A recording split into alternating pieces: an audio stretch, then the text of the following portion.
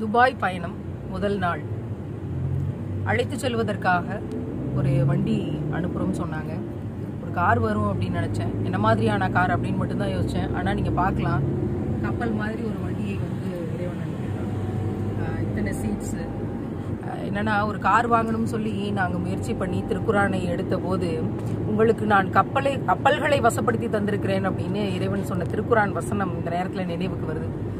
இதோட திருக்குரான் வசனத்தின் நினைவோட இப்போ எங்கே போகிறோம் அப்படின்னா குரான் சிட்டி அப்படிங்கிற ஒரு இடம் இருக்குது அந்த இடத்தை நோக்கி தான் போய் கொண்டிருக்கேன். ரொம்ப ஆவலாக என்ன மாதிரியான படிப்பினைகள் இன்னைக்கு கிடைக்கும் அப்படிங்கிற ஆவலை நோக்கி அந்த இடத்துக்கு போயிட்டுருக்கேன் அது குறித்த பதிவுகளோடு உங்களோடு விரைவில் இணைப்புக்கு வரேன். துவா செய்யுங்கள். ஒவ்வொரு நாளும் திருக்குரான் எத்தனையோ அதிசயங்களை கற்பித்துக் கொண்டிருக்கிறது. நான் அறிந்து கொண்டிருக்கிற இஸ்லாத்தை உங்களோடு பகிர்ந்து கொண்டிருக்கிறேன். இணைப்பில்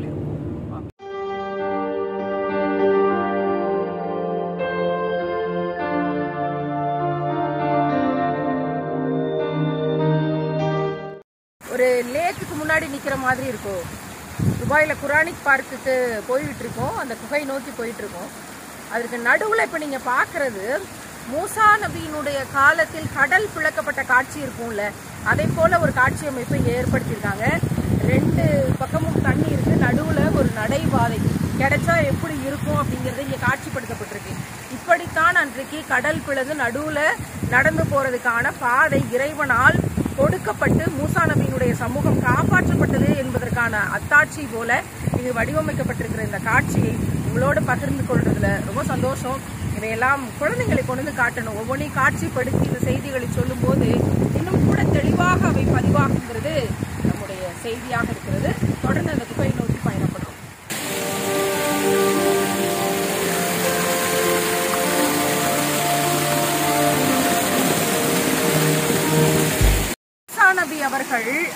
சமூகம் பிறவன் அப்படிங்கிற ஒரு கொடுங்கோலன். அவ்வளவுதான் நம்மளாம் அழிய போறோம் சாக போறோம் அப்படின்னு மூசா நபியினுடைய சமூகம் நினைக்கும் போது நபிகள் தெளிவா சொல்றாங்க என் இறைவன் என்னோடு இருக்கிறான் நம்பிக்கையோடு இருங்கள் அப்படின்ட்டு. கடல் ரெண்டா பிளக்குது நடுவில் பாதை உருவாகுது அதுல அவங்க தப்பிச்சு போறாங்க.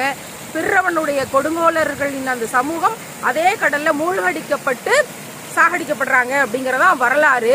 அதே போல ஒரு காட்சி அமைப்பு. இந்த பக்கத்துல இருந்து கடல் கீழே தண்ணி வடிஞ்சிட்டு இருக்கு. இந்த பக்கம் அந்த கடல் கீழே தண்ணி வடிஞ்சிட்டு இருக்கு.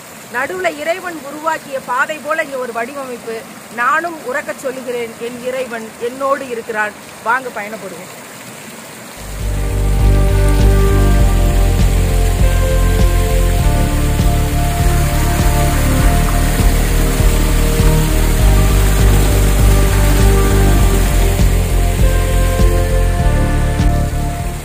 பச்சை மரங்களுக்கு நடுவே ஒரு பேரின்ப பயணம். உலகத்தில் எல்லா இன்பமுமே நமக்கு சிற்றின்பம் தான். ஆனால் இதை ஏன் நான் பேரின்ப பயணம் சொல்கிறேன்னா அங்கே தூரத்தில் தெரியக்கூடிய ஒரு குகை திருக்குறானினுடைய அத்தாட்சியாக இருக்கு. அது சார்ந்த குகைன்னு சொல்லி சொல்லியிருக்காங்க. துபாயில் குரானிக் பார்க்கு நடுவில் தான் நடந்து போயிட்டுருக்கோம். திருக்குறானை விட ஒரு பேரின்பம் நமக்கு கிடைக்குமா என்ன? அதனால தான் ஒரு எதுகை முனைக்காண்டியும் சேர்த்து பேரிச்சை மரங்களுக்கு நடுவில் ஒரு பேரின்ப பயணம் அப்படின்னு சொன்னேன். அந்த குகை நோக்கி தான் நம்ம பயணப்பட்டுக்கிட்டு இருக்கோம். அதை நீங்கள் பார்க்கலாம். இங்கே தூரத்துலேருந்து தெரியக்கூடிய திருக்குறான் என்ன குகை அப்படிங்கிறது போனால் தான் தெரியும். போயிட்டே இருக்கும். சீக்கிரம் பார்க்கலாம். Dubai Quranic park. நீங்கள் சுற்றிலும் பார்க்கலாம். அதுக்கு வெளியில் முழுதும் பேரிச்சை மரங்கள். இந்த கட்டடத்துக்கு வெளியில் முழுதும் பேரிச்சை மரங்கள் நிரம்பி இருக்கிற அந்த சூழல்ல ஒரு கண்ணாடியால் சூழப்பட்ட ஒரு அருமையான வெளிச்சமான மேலேயும் ஃபுல்லாக வந்து ரூஃப் கண்ணாடி தான். இந்த பில்டிங்கும் வந்து கண்ணாடியால் சூழப்பட்டிருக்கக்கூடிய ஒரு பில்டிங் தான். வெளியில பேரிச்சை மரங்கள் உள்ள என்ன இருக்கு? குரானிக் பார்க் அப்படின்னு சொல்றதுல இந்த பார்க்ல என்ன இருக்கு? பார்க்னாலே செடி கொடி மரம் தாவரங்கள் பசுமை தானே குரானில் சொல்லப்பட்டிருக்கக்கூடிய தாவரங்கள் செடிகள் மரங்கள் அந்த குரான் வசனங்களோட இங்கே அந்த மரங்கள் உயிரோடு வளர்க்கப்பட்டு கொண்டிருக்கு. நீங்கள் பார்க்கலாம் கீழே. ஒரு சின்ன கல்வெட்டு மாதிரி ஒவ்வொன்றுக்கும் வச்சு அதோட படம் போட்டு முழுமையாக ஒவ்வொன்றையும் வகைப்படுத்தி குரானில் இது சொல்லப்பட்டிருக்கு. அந்த தாவரம் இதுதான் அப்படின்னு ஒரு பார்க் ஒரு பூங்கா திருக்குரானை மையப்படுத்தி திருக்குரானில் சொல்லப்பட்டிருக்கக்கூடிய தாவரங்களை எடுத்து சொல்லி இவைதான் குரானில் பதியப்பட்டிருக்கு அப்படின்னு வைக்கப்பட்டிருக்கிற இடம்தான் இந்த குரானிக் பார்க் துபாயில் இருக்கக்கூடிய ஒரு அருமையான இடம். உள்ளே வந்து பார்க்கும்போதே நம்ம வழக்கமாக பார்க்குக்கு போகும்போது ஒரு என்டர்டைன்மெண்ட் ஒரு பொழுதுபோக்கு அந்த மாதிரி தான் இருக்கும். ஆனால் இங்கே வந்து பார்க்கும்போது ஒரு விதமான தெய்வீகம் என்ன சொல்கிறது குரான் அப்படின்னாலே நம்ம இறைவன் நம்மளோட பேசக்கூடிய ஒரு நிகழ்வு. அப்படின்னா இங்கே திருக்குறானில் பதியப்பட்டிருக்கிற இந்த செடி கொடிகளையெல்லாம் பார்க்கும்போது அப்படியே மெதுவாக இறைவனோட ட்ராவல் பண்ணுற மாதிரியே ஒரு ஃபீல் அது மாதிரியான ஒரு அழகான ஒரு இடம் இந்த துபாயில் இருக்கக்கூடிய இந்த குரானிக் பார்க்.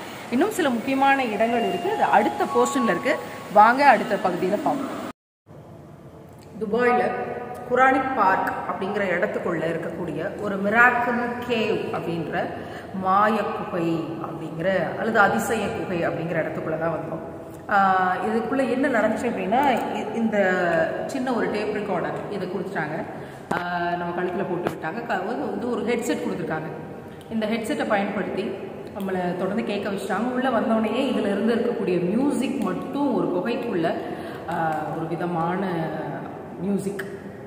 ரொம்ப என்ன சொல்கிறது பழைய படங்களில் பிளாக் அண்ட் ஒயிட்டில் பார்த்த மாதிரியான ஒரு சூழல். உள்ளே வந்தோன்னா என்ன காட்சிப்படுத்தப்பட்டிருக்குன்னா இந்த குகையை வந்து பகுதி பகுதியாக பிரித்து ஒரு ஐந்து பகுதிகளாக ஒரு ஸ்க்ரீன் எல்இடி ஸ்க்ரீன் இருக்குது ஸ்பீக்கர்ஸ் இந்த ஸ்பீக்கர் செட் பண்ணியிருக்காங்க. இந்த எல்இடி ஸ்க்ரீனுக்குள்ளே ஒவ்வொரு அஹ், மூசா நபி ஈசா நபி அவர்கள் சுலைமான் நபி அவர்கள் முகமது நபிகள் நாயம் ஸல்லல்லாஹு அலைஹி அவர்கள் இவங்களோட வாழ்க்கையில் நடந்த அவர்கள் நிகழ்த்தி காட்டிய அதிசயங்கள். அந்த வரலாறு இருக்கு இல்லையா? அந்த வரலாறை கார்ட்டூன் வடிவத்தில் எல்லாருக்கும் புரிகிற மாதிரி மூணு லாங்குவேஜில் உங்களுக்கு எந்த லாங்குவேஜ் வேணும்னு கேட்குறாங்க நம்ம இங்கிலீஷ் ப்ரிஃபர் பண்ணோம். அதனால அந்த இங்கிலி அந்த லாங்குவேஜில் நமக்கு அந்த விஷயங்களை போட்டு காட்டுறாங்க. இதுதான் நடந்தது. இதில் என்ன ஒரு மேஜிக் அப்படின்னா இதில் என்ன மிராக்கிள் அப்படின்னா இந்த நபிகள் எல்லாம் செய்து காட்டியது மிராக்கிள்ஸ் அது குகைக்குள்ள இந்த மாதிரியான ஒரு செட்டப்பில் உட்கார்றதுக்கு பார்த்தீங்கன்னா இந்த மாதிரியான ஒவ்வொரு இடத்துலையும் இந்த மாதிரியான திட்டு இருக்குது அந்த திட்டுல உட்கார்ந்துட்டு அதுக்கு எதிர்த்த மாதிரியான ஒரு ஸ்க்ரீன்ல வந்து ஸ்பீக்கர்ஸ் ஆடியோ இந்த செட்டப்போட நம்ம காமிச்சிருக்காங்க. இங்க பார்த்தீங்கன்னா இந்த குகை வடிவத்தில் இருக்கக்கூடிய சின்ன குழந்தைங்களுக்கு வந்து அப்படியே குகைக்குள்ள இருக்க மாதிரியான ஒரு ஃபீல் வந்து கிரியேட் பண்ணுது. பெரியவங்களுக்கே உண்மையாகவே இது வந்து ஒரு விதமான பழைய காலத்து சூழலுக்குள்ளே நம்மளை கொண்டு போன மாதிரி ஒரு உணர்வை கிரியேட் பண்ணுது. இந்த வரலாறுகள் எல்லாம் நமக்கு ஏற்கனவே தெரியும் அல்லது படித்து கொண்டிருக்கோம் அப்படின்னா அதை நேரடியாக பார்க்குற ஒரு ஃபீலை கிரியேட் பண்ணுறதுக்கான ஒரு முயற்சி. கண்டிப்பாக இவையெல்லாம் நம்ம ஃபேமிலியோடு வந்து குழந்தைங்களுக்கு காமிச்சு இந்த கதைகளை எல்லாம் இந்த வரலாறுகளை எல்லாம் சொல்லி காண்பித்து அந்த மாரலன் வேல்யூஸை ஈமானை அதிகப்படுத்துவதற்கான ஒரு முயற்சி அனைவரும் அவசியம். இவற்றையெல்லாம் வந்து பாருங்கள். ஈமானின் சதவீதத்தை உயர்த்துவோம். நம் இறைவன் நம்மோடு இருக்கிறான். அம்மீன்